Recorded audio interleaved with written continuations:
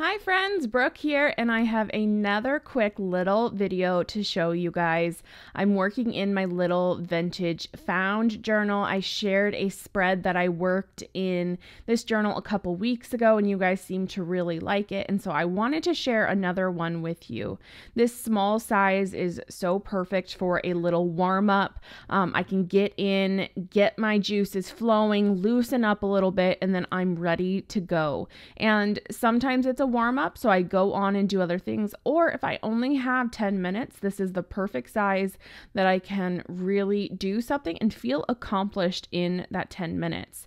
So if you've been following with me for a while, you know that I posted just recently all of my videos for the five minute art challenge and I promised that I would be showing you how I put all of those pages together in a journal, and I'm still planning to show you guys that. It's a longer video, and so it is not done being edited yet.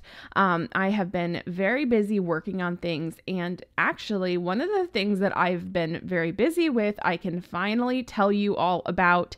So, I wanted to let you know that I am going to be hosting a free event coming up March 25th through the 31st. Everyone everyone is welcome.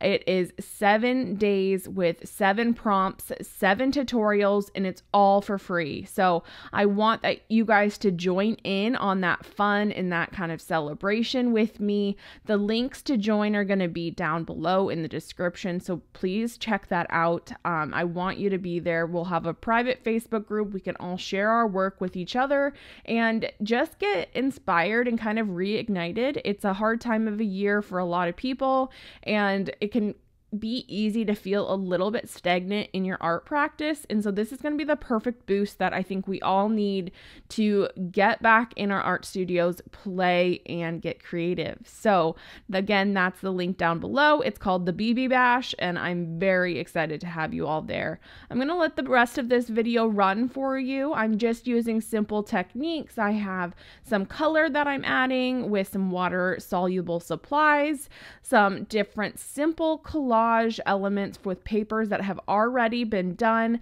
That allows me to do things quicker and get in, get out, and just really take full advantage of the 10 minutes that I have. So enjoy. Please let me know if you have any questions. I try to link all the supplies that I use in the description below. And if you haven't already, make sure to hit that subscribe button so that you can be notified of new videos.